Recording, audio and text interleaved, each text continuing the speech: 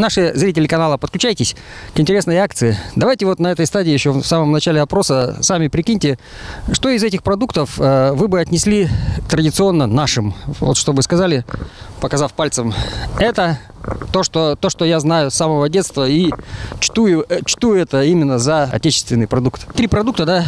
Пепси-кола, да? Чипсы и сгущенное молоко. Какой вы считаете наш отечественный? Ну, думаю, что сгущенное молоко, наверное. Да? Хорошо. А вы скажите, нет? Молоко, конечно. Молоко, да? Да. Ну, потому что у нас завод есть по выпуску где-то рядом молочной продукции. Мы предпочитаем нашу продукцию. Сгущенка, конечно. Молоко, деревня, все дела, да. Сгущенное молоко. В смысле, как отечественный? Ну как, вот вы отнесете Ну вот и лутеровское есть молоко, молоко сгущенное? тюменское, конечно. Молоко сгущенное. Не знаю, молоко, наверное.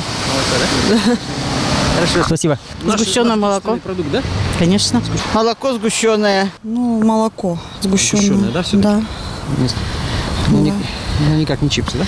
Нет. С отечественной сгущенка. Конечно. Кока-кола это Америка.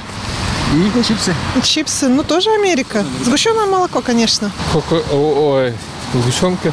И э, мы-то э, с оператором договорились, что тот, кто ответит на наш вопрос правильно, он получит один из этих призов. Ну и вот результат, видите, на сегодняшний день, что получилось.